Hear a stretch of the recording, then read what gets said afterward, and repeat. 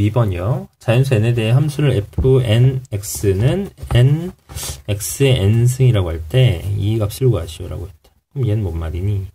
fnx는 n, x의 n승.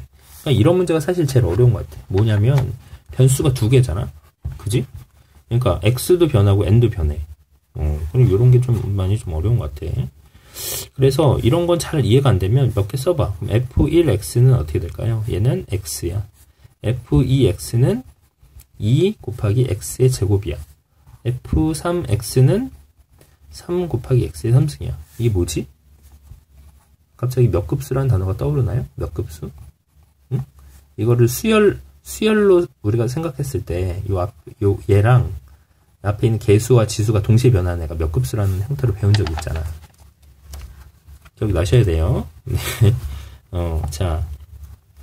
잘 기억이 안 나면 수열에 찾아봐. 어? 수열의 극한. 아, 수열의 극한이 아니라 수열 단원에서 등비수열 파트 가서 등비수열 파트 가서 좀 찾아보세요. 자, 일단 풀면서 뭐 한번 나올 테니까.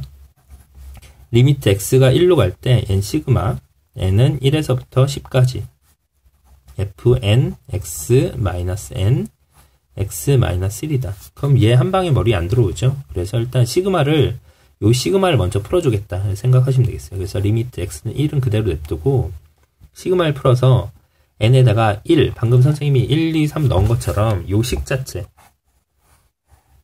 요 식 자체에 n에다가 1, 2, 3을 넣어서 이렇게 나열해서 전개를 해보겠어요. 그럼 얘는 어떻게 돼? f1x-1 x-1 플러스 요게 하나의 항인 거죠.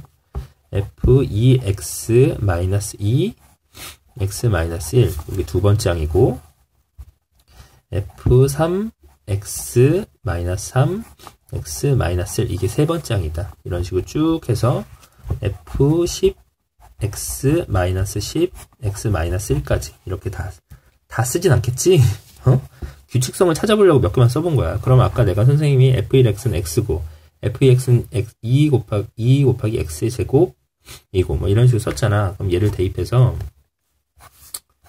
얘는 어떻게 돼? limit x가 1로 가니까 fx가 x-1, x-1이다. 얘는 1로 나오겠네요. 그 다음에 얘는 x, 2x는 2x의 제곱이었어. 그러니까 얘는 2x의 제곱 마이너스 2, x 마이너스 1.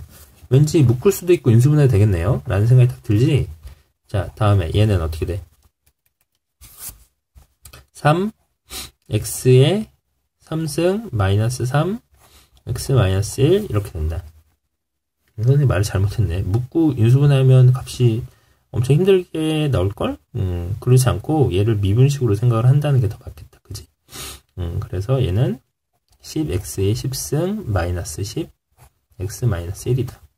그럼 우리가 생각했을 때 이게 limit가 돼 있지만 얘를 각각 풀어줄 수 있잖아. limit 이걸 뭐 a1이라고 a1 플러스 limit A2 플러스 limit A3 이렇게 해서 limit A10 이렇게 할 수 있잖아. 그치? 그렇게 되면 어떻게 돼?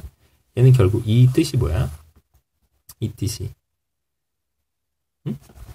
얘는 모양이 이건 거야. f x 마이너스 fa x 마이너스 a와 모양이 똑같잖아. x는 a로 간다와 똑같잖아. 여기서 a는 그냥 1일 뿐이고 1 넣었을 때 1 나오고 어? 여기 이 식에다 1 넣으면 2 나오잖아. 여기다 1 넣으면 3 나오고, 어?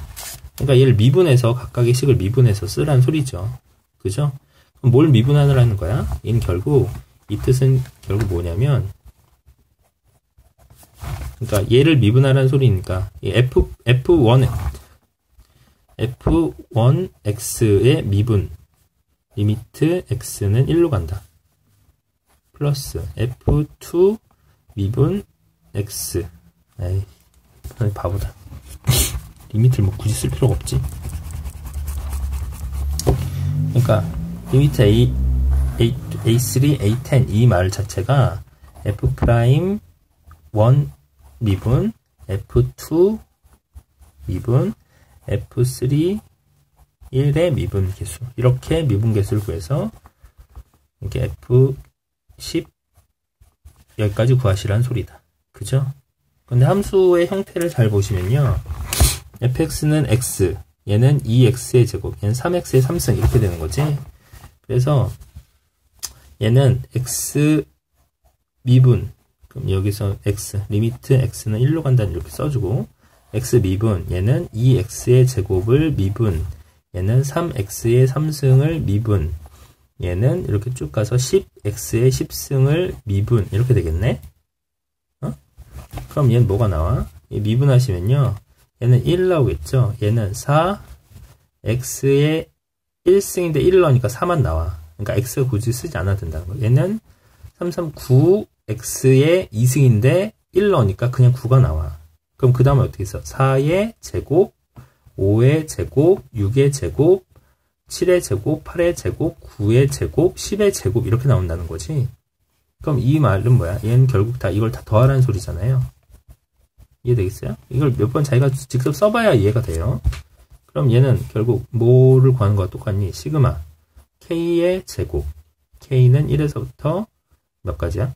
10까지를 구하는 것과 똑같고 k의 제곱의 공식은 6분의 n n 곱하기 n 플러스 1 2n 플러스 1에다가 여기다 n에다 10을 집어넣으라는 소리잖아 10 그래서 계산하시면 6분의 10 11 21 이렇게 계산하시면 7 5 어, 55 곱하기 7은 뭐니? 55 75 35 385라는 값이 나오거든요 네 5번의 답이 있네요. 그죠? 네.